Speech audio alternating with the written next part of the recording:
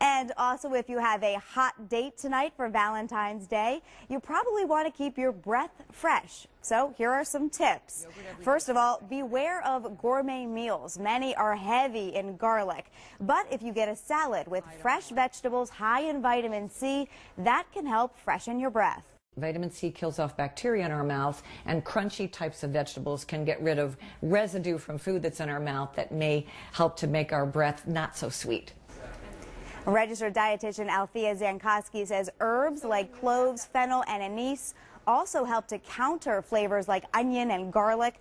Parsley is also a natural breath freshener, and you can cap off the meal with a latte or cappuccino. Milk actually helps wipe out garlic breath.